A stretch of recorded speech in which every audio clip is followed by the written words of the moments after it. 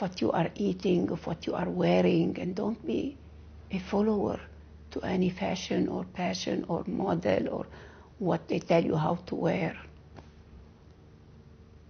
Look at Peace Base, Peace Pilgrim. Why she wears clothes like this so that energy will be more cosmic, not tight, flat. No. All the kids now, they have no motherhood, no fatherhood. The maids, they take care of them. They left their children, their family to come and serve you.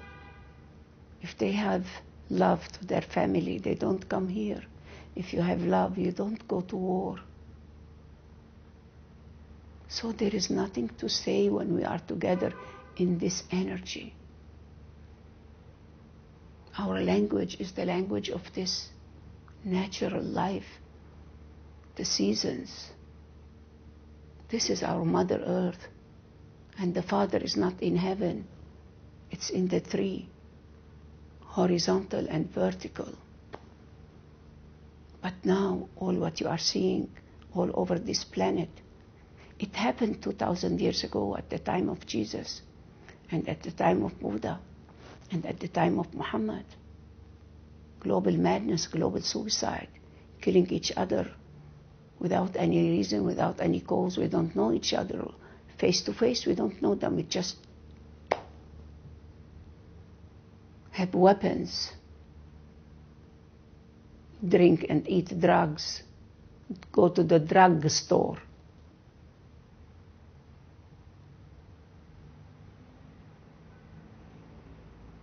All the houses now in Lebanon, no electricity, and the people that they are in the high rise buildings even if they have their own electricity, they are in danger too.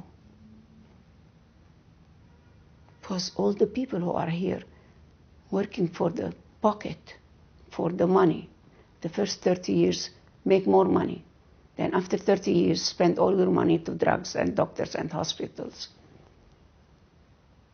Is this why we are here? Where is the joy? Where is our happiness?